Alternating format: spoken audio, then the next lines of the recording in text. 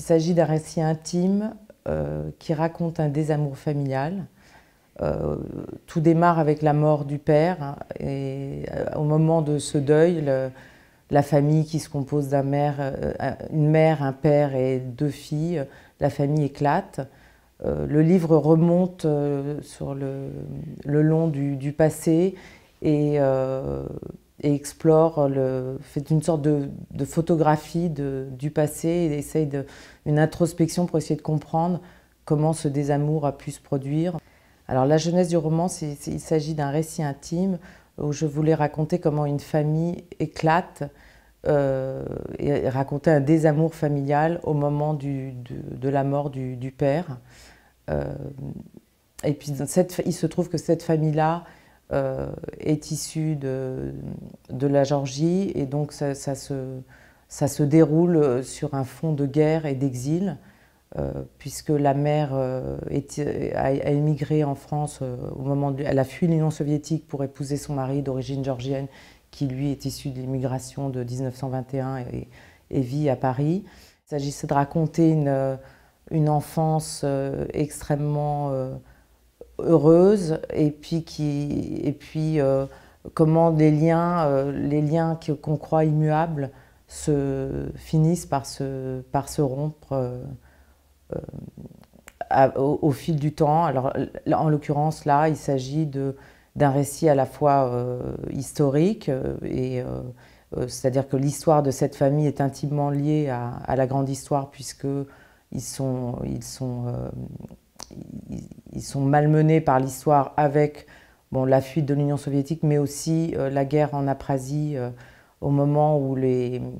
les, Russes ont, ont, envahi une partie de la Géorgie pour l'annexer, euh, qui était l'Aprasie, et, qui, et donc des milliers de, de, Géorgiens ont été déportés, ont, ont dû fuir cette région de Géorgie, parce que du jour au lendemain, ce n'était plus géorgien, et donc et donc euh, c'était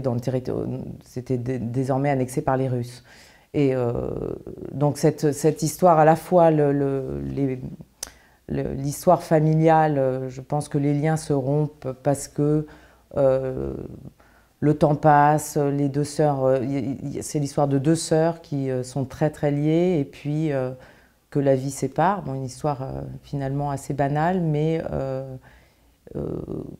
le, livre essaye de comprendre et fait un retour en arrière pour essayer de, photographier différentes époques de leur vie et essayer de comprendre comment euh, ce désamour est possible et comment euh, les liens seront au fil du temps. Euh, c'est pour ça que je parle de, photographie, parce que pour moi, c'est une, une, introspection à travers des images, une immersion presque photographique dans le passé où on prend on remonte au temps de béni de l'enfance où c'est une enfance euh, euh, privilégiée avec des voyages